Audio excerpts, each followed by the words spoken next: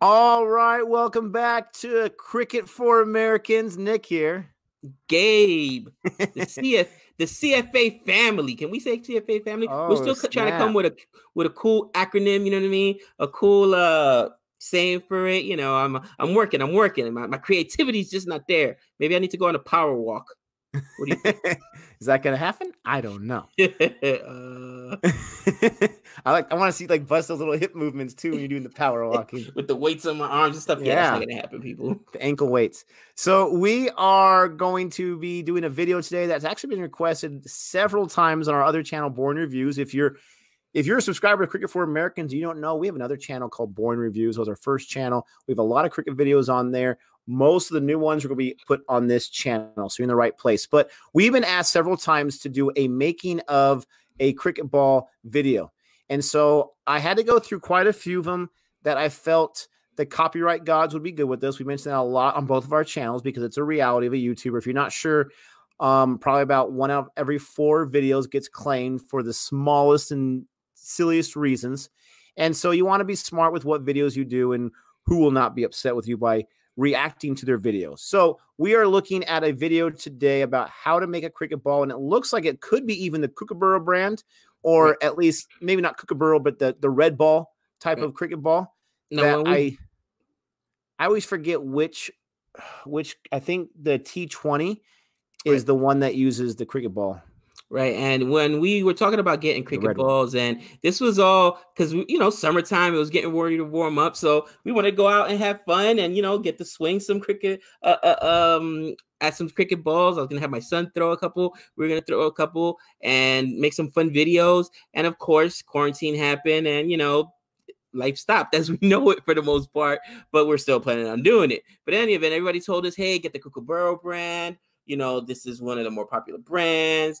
And one of the interesting things we already know is that each cricket ball is handmade. So they've even told us, you know, they might look a little different coming out of the box, but that's because and have imperfections, but that's because they're actually handmade, which I'm like, wow, really? You know, think about how many cricket balls must go in a game. You know, not as many as baseball, obviously, but that's still quite a bit. So that's an industry in and of itself.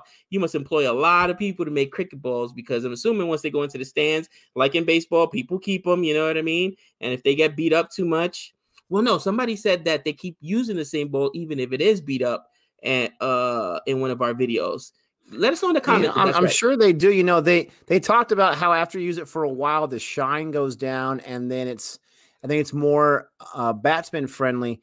But I I can't imagine, and we'll find out in the video. But I can't imagine it's hundred percent handmade. You know, I mean, so many machines are used in in factories these days. I was watching this random video about how an ice cream sandwich is made. And they were talking about, I mean, they use these huge like vats, like you would see in Breaking Bad, to stir up the ice cream mixture itself and to put enough chemicals so that it preserves longer. And then so they create the ice cream first, these giant, huge things. And then they have this machine. They just show you a close up of the, the part right here where it has a million of the flat pieces of the ice cream sandwich and then a little tube in the middle where the ice cream comes down. And it just pushes the tube, like it poops it out, and then it puts the ice cream sandwich pieces together and it pushes it down. And it's actually mesmerizing how it works. There was other about ice cream sundays where they had these little sundays and there's like eight different toppings and it just goes here. Right. I mean, that kind of stuff was just intoxicating to look at and think like that's. I mean, I guess it makes sense that I was gonna say, you don't that- have one person like this, their tongue sticking out. "Mm, there we go, and then the next one. I mean, it's just machine, machine, machine. is it really intoxicating or is this a quarantine talking? Nick watching Uh. ice cream videos, people. I'm, I'm not even sure how it was suggested on my feed, but I said, "Yep." yep, let me check it out.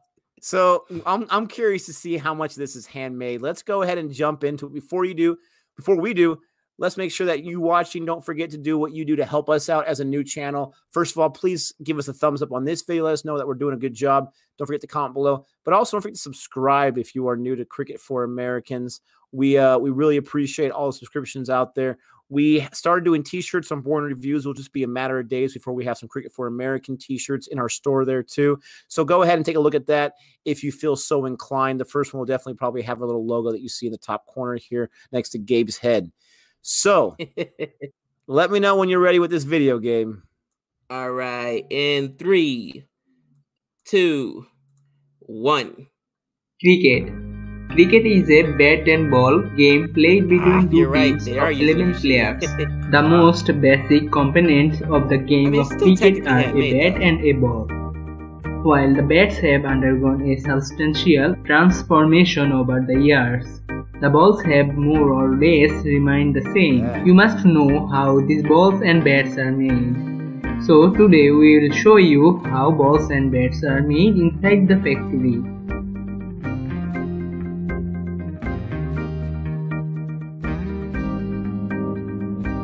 Welcome to Shad Kahor and if you are new then subscribe our channel and don't forget to click the bell icon so you don't miss out our any videos.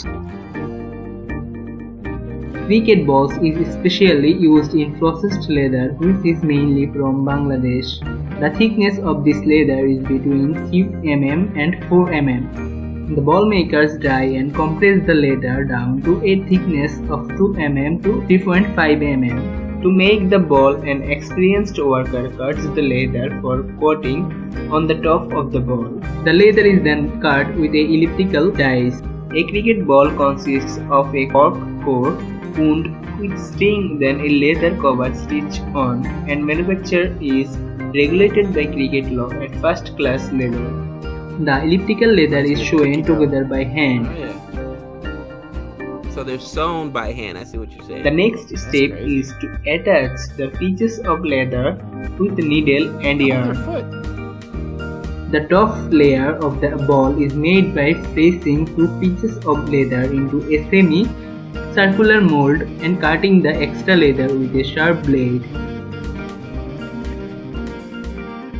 Cork cores are made on the other side of the factory. Two more elliptical cork are added cork core with pressure and glue, Where they're making the cork which look ball? a bit like a tennis ball It's like spam with a rolling machine twist the yarn on the tennis cork. The cork with a yarn is inserted into the semi-circular leather. The top two layers are then shown with hands and instruments.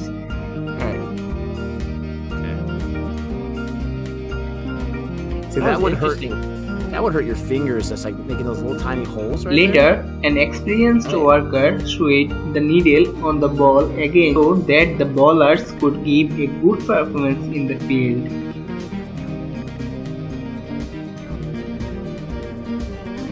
That is definitely where it's the handmade right there. That hand stitching. That Thus, a total of six stitches were given on both sides, three on either side. Oh, I see. They got from either side going through. That's cool. Dude, that's a lot of work for one That, ball. it is a lot of work. I agree. No wonder you cost twenty bucks a ball.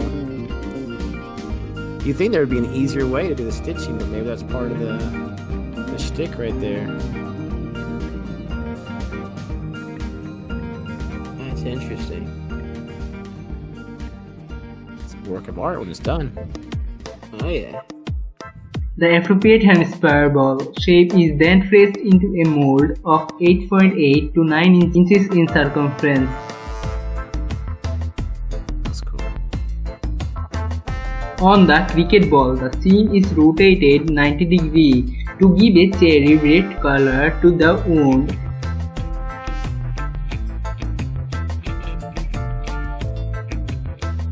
And to make sure there is no uniform shape, So I was probably I probably misunderstood or misspoke. They're hand stitched, not you know handmade. But that's the a logo is placed on the ball. Oh yeah. I'm sure you get different brand names on there.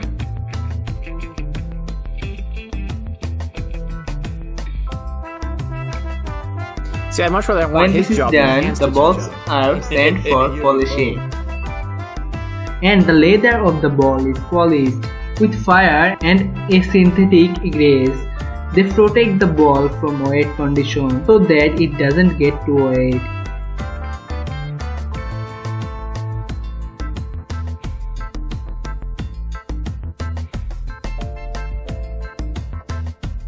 Weight and size are then measured.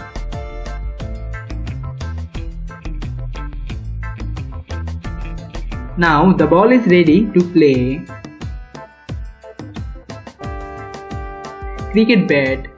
Cricket bat willow is a cultivated timber which predominantly grows in a large plantations in wetlands areas throughout England mainly in the southeast.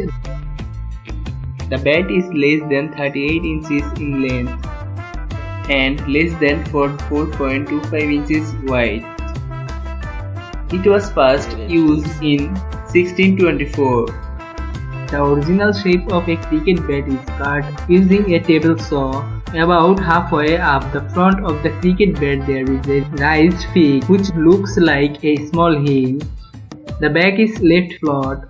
Rub it with a polishing machine to smooth it. The bat will need to be compressed to straighten the willow fiber with a scarf iron machine of the as a bat blade. Around 2000 pounds of a strong pressure is placed around the bat. The handle is then made with a strip of cane and rubber. The lower portion of the handle is cut into a wedge shape. The reverse of which is then carved into the blade of the bat using a band saw. The stub made Oh, the wow. handle according to the size Right. of the bat. They're two pieces. Right? That's crazy. Carve the blade using a drop knife so that it is perfect balanced. Glue the handle in place so that the top edge extends a teeny bit above the front face of the blade. Just glue it on there, huh? Jeez. and leave it to dry overnight. The beds are sent one more time to saw to create the perfect structure. Extra part of the bed blade are cut with a CNC machine.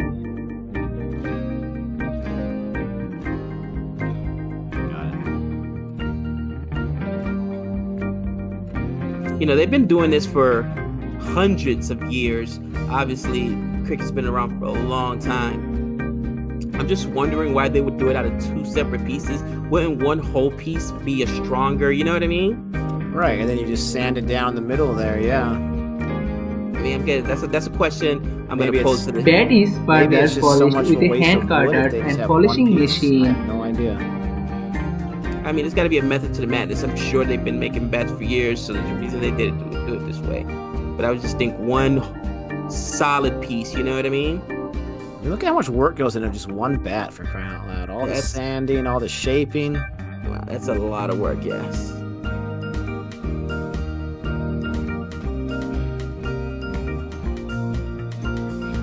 The worker makes the handles more smooth. I wonder how many other things out there we don't realize are glued together into two pieces like that. A rolling machine is used to thread the yarn into the handle. Finally, brush sanders are used to give a beautiful smooth finish. The bat is then ready for leveling, draping and knocking in.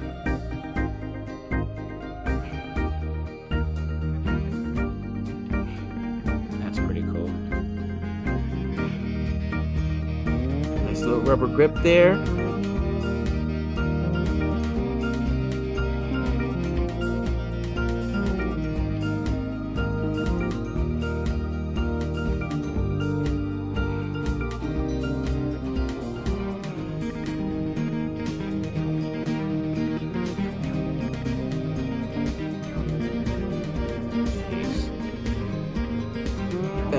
Definitely a lot of work. I, I would not be good at that. I would mess it up. I'd misalign it.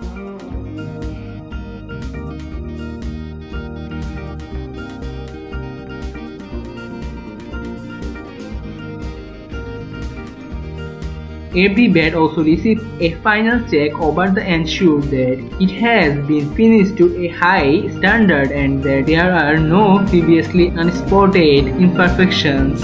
The bed is finished That and ready actually a really cool video. That was done by um, Sad Cajon.